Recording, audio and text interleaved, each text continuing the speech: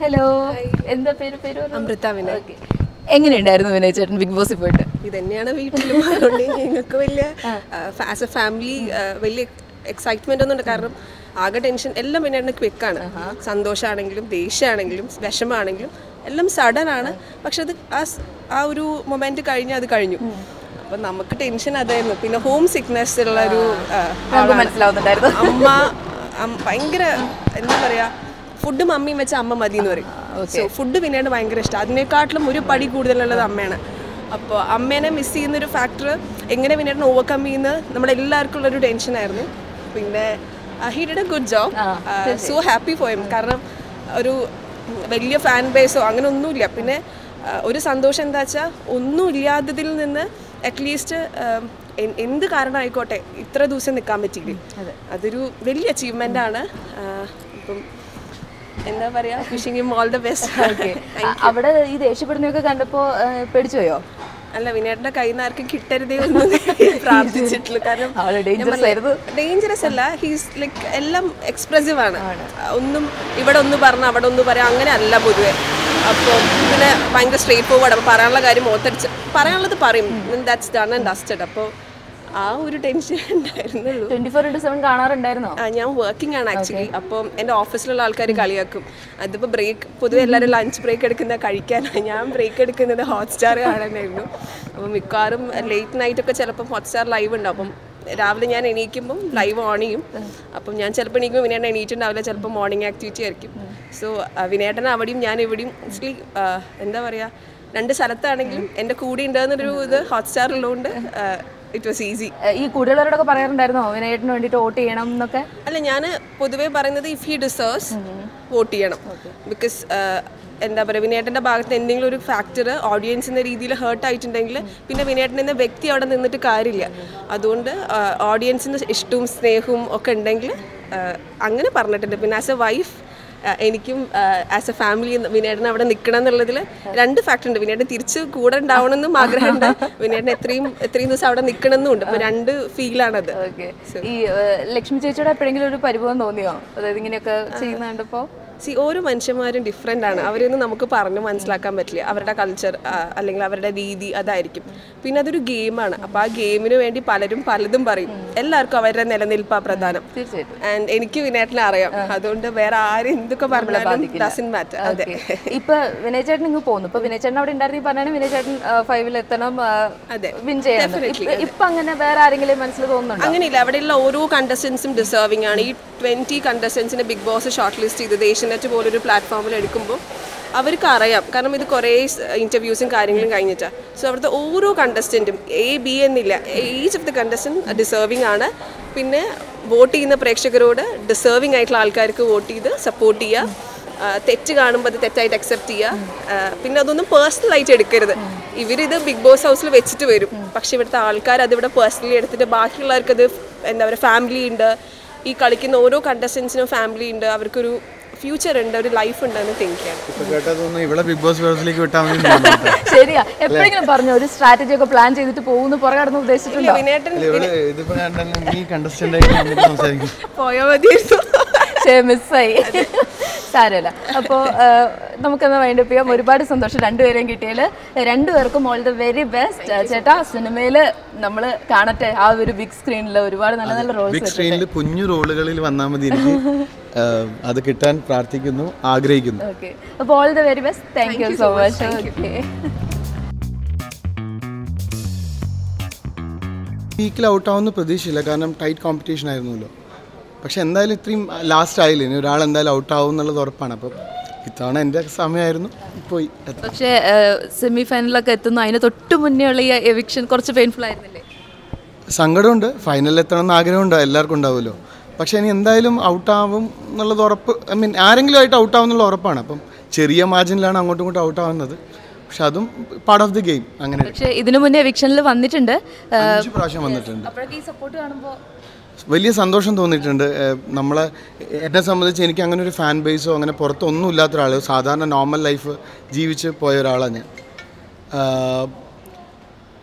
പക്ഷേ നമ്മൾ അകത്ത് ചെന്ന് ഓരോ എവിക്ഷനിൽ വരുമ്പോഴും സേവ് ആകുമ്പോൾ നമുക്ക് കിട്ടുന്ന ഒരു കോൺഫിഡൻസും സന്തോഷവും ഭയങ്കരമാണ്. ഗെയിമൊക്കെ എങ്ങനെ എൻജോയ് ചെയ്ത് ചെയ്തോ?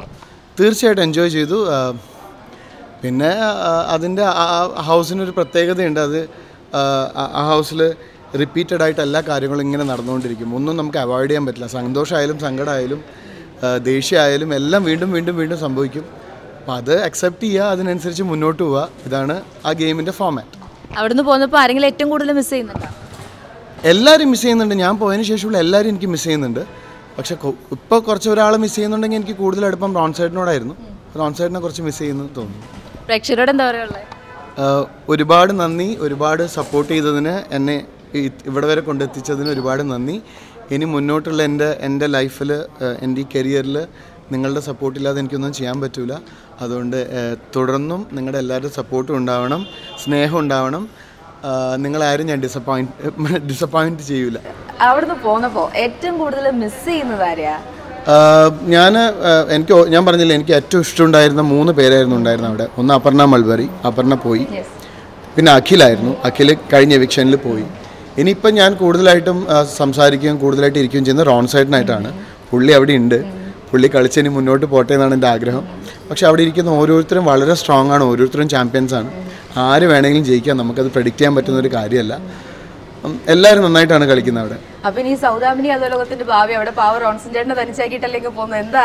റോൺ സൈഡും തിരിച്ചു വന്നിട്ട് വേണം ഞങ്ങളുടെ സൗദാമിനി അധോലോകം വീണ്ടും പുനരാരംഭിക്കാൻ ശക്തമായിട്ട്. എന്തൊക്കെയുണ്ട് കൊട്ടേഷൻ ഞങ്ങൾ ഞങ്ങൾ ലാളനം ലാളനം ശാസന പിന്നെ അങ്ങനെയുള്ള വളരെ ലളിതമായ കാര്യങ്ങൾ സാന്ത്വനം അങ്ങനെയൊക്കെ എടുക്കുള്ളൂ. വലിയ അടിപിടി ഒന്നും എടുക്കില്ല നല്ല മാർഗത്തിലുള്ള കാര്യങ്ങൾ എടുക്കുള്ളൂ. ഏറ്റവും അവിടുത്തെ ബ്യൂട്ടിഫുൾ ആയിട്ടുള്ള ഒരു മെമ്മറി ഇപ്പൊ മനസ്സിൽ എന്താ തോന്നണേ?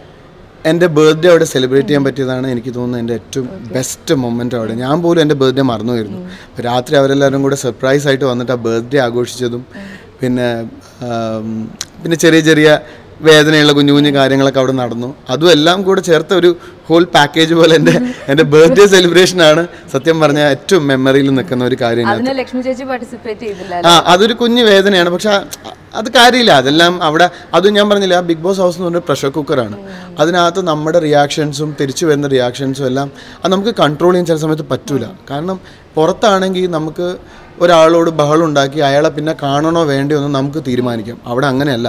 ഒരാളോട് ബഹളം ഉണ്ടായി തിരിച്ചു അയാളുടെ മുഖം തന്നെയാണ് കാണേണ്ടത് ചിലപ്പോൾ വീണ്ടും ബേസ്റ്റ് ഔട്ട് ആവും. ചിലപ്പോൾ ചിരിക്കേണ്ടി വരും.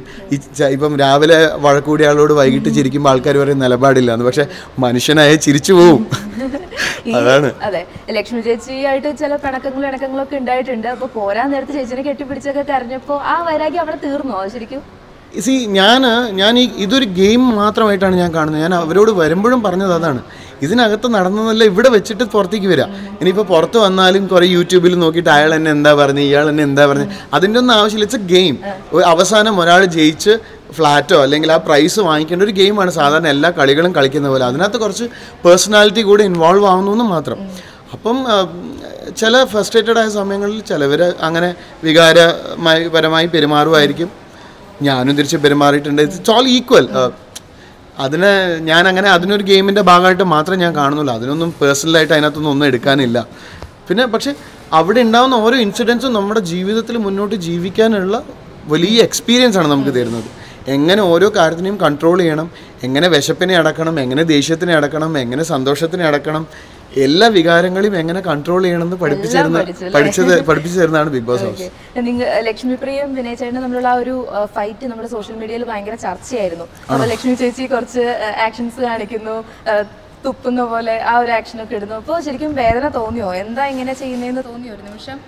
അല്ല എനിക്ക് ശരിക്കും പറഞ്ഞാൽ എനിക്ക് അവരോടാണ് സങ്കടം. എന്നെ സംബന്ധിച്ച് എന്നെ ആരെന്ത് പറഞ്ഞാലും അതെന്റെ വ്യക്തിത്വത്തെ ബാധിക്കില്ല എന്ന് വിചാരിക്കുന്ന ഒരാളാണ് ഞാൻ. ഇതൊരു ഗെയിം ഷോന് വന്നതാണ്. ആ ഗെയിം ഷോ കളിക്കാൻ മാത്രം ഞാൻ വന്ന ആളാണ്. പക്ഷേ എന്റെ പേഴ്സണാലിറ്റി അവിടെ കാണും. അതുകൊണ്ട് തന്നെ ജെന്യൂൻ ആയിട്ട് നിൽക്കുക. ഇത് മാത്രമാണ് എന്റെ ഫണ്ടാന്നുള്ളത്. വേറെ അതിനകത്ത് അപ്പുറത്തൊന്നുമില്ല. അപ്പോൾ അവരിങ്ങനെ ചെയ്യുമ്പോൾ ഞാൻ ആലോചിക്കാറ് എനിക്ക് അവർ ഒന്ന് അവരവരുടെ അവർക്കുണ്ടാവുന്ന ഒരു ഒരു മാനനഷ്ടം. പുറത്തെ ആൾക്കാർ ഇത് കാണുമ്പോൾ അയ്യോ എന്താണ് ഇങ്ങനെയെന്ന് ചിന്തിക്കുമല്ലോ എന്നുള്ളൊരു സങ്കടം. രണ്ട് നമ്മൾ ഒരു സ്ത്രീയോട് നമുക്ക് കടുപ്പിച്ച് കാര്യങ്ങൾ പറയേണ്ടി വരുമ്പോൾ ഇപ്പം നമ്മുടെ അമ്മയോ പെങ്ങളോടോ നമ്മൾ പറയുന്ന പോലെ തന്നെയാണ് നമുക്ക്. പക്ഷേ നമ്മുടെ ഒരു ഒപ്പോണന്റാണ് നമ്മൾ ഒരുപാട് വേർബലി നമ്മളോട് പറയുമ്പോൾ തിരിച്ച് പറയേണ്ടി വരും. വേറെ വഴിയില്ല അതിനകത്ത്. പക്ഷെ അത് പറഞ്ഞു കഴിയുമ്പോൾ നമുക്ക് തോന്നും അയ്യോ പറയേണ്ടിയിരുന്നില്ല. ഒരു സ്ത്രീയല്ലേ. അവരൊരു അമ്മയല്ലേ എന്ന് നമുക്ക് തോന്നിപ്പോവും. അത് അതൊരു മനുഷ്യനായി പറഞ്ഞതിന്റെ ഭാഗമാണ്. അതിനകത്ത് പിന്നെ വേറെ ഒന്നുമില്ല. അതവിടെ തീർന്നു. അതവിടെ തീർന്നു. ആ പ്രശ്നങ്ങൾ അവിടെ ആ വീടിന് അങ്ങനെ ഒരു സ്വഭാവമുണ്ട്. ആ വീട്ടിൽ എൻഡ് ഓഫ് ദ ഡേ ഇപ്പം ഞാൻ ഇപ്പം ഞാൻ എനിക്ക് ഏറ്റവും കൂടുതൽ ആർഗ്യുമെന്റ്സ് ഉണ്ടാവാറ് ബ്ലസ്ലി ആയിട്ടാണ്. പക്ഷെ ഞാനും ബ്ലസ്ലി ഒരു ബെഡിലാണ് കിടന്നുറങ്ങുന്നത്. അപ്പോൾ അതാണ് ആ വീടിന്റെ സൗന്ദര്യം എന്ന് പറയുന്നത്. പക്ഷെ പ്രശ്നങ്ങൾ ഉണ്ടാവും ആ- വീട്ടിൽ ഒരാളെ മുറിവേൽപ്പിക്കാതെ ഒരാൾക്ക് വേദന എടുക്കാതെ അത് ഒന്നുകിൽ ഓപ്പോസിറ്റ് നിൽക്കുന്ന ആൾക്കായിരിക്കാം അല്ലെങ്കിൽ സ്വയം ആയിരിക്കാം. വേദനിപ്പിക്കാതെ ആ വീട്ടിൽ ഒന്നും ചെയ്യാൻ പറ്റില്ല. ഒരാൾക്ക് വേദനിക്കും. അത് ആ വീടിന്റെ സ്വഭാവമാണ്.